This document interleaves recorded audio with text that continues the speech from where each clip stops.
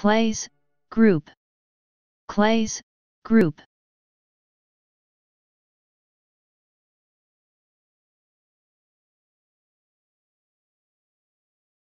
Please subscribe and thanks for watching.